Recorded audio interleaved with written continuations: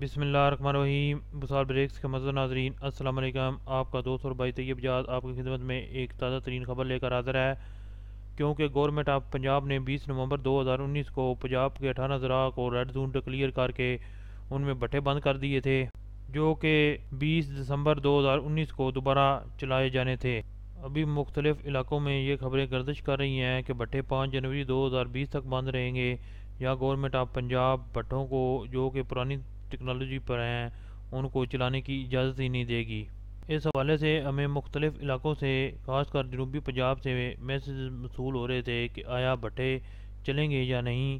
تو اس پر ہم نے فوراً آل پاکستان بٹا ایسوسیشن کے جنرل سیکرٹری میر عبدالحق سے رابطہ کیا اور جانے کی کوشش کی کہ آیا بیس دسمبر دو ہزار انیس کو بٹھے چلیں گے یا نہیں یا بٹھے مستقل طور پر بند کر دیے جائیں گے۔ تو اس پر میر عبدالحق صاحب نے اپنا موقف دیا۔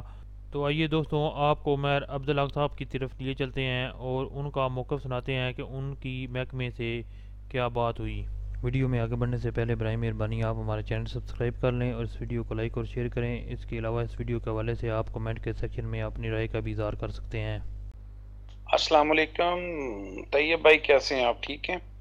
طیب بھائی، آپ نے پوچھا مجھ سے کہ بٹوں کے جو دوبارہ چلنے کی ڈیٹ کیا بیس تاریخ کنفرم ہے تو اس سلسلے میں میں یہ وضاحت کرنا چاہتا ہوں کہ میری کل منسٹر انوائرمنٹ سے ٹیلی فون پہ بات ہوئی تھی رضوان صاحب سے، تو انہوں سے ہی بات میں نے کہی تھی کہ چاہے مگوئیاں کافی ہو رہی ہیں کہ بٹوں کی شاید ڈیٹ ایکسٹینڈ ہو جائے، تو اس پہ حکومت کیا سوچ رہی ہے؟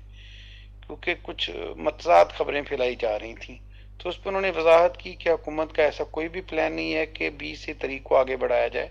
انشاءاللہ بیس تاریخ کو پورے پنجاب کے بٹے جہاں جہاں بند کیے گئے ہیں سموک کی وجہ سے وہ چل جائیں گے۔ تو اس پہ اب اب کوئی ابہام ہماری طرف کوئی تو اب موجود نہیں ہے، کیونکہ وزیر جو ہوتا ہے، اپنے محکمے کا سربراہ ہوتا ہے اور ذمہ دار آدمی ہوتا ہے۔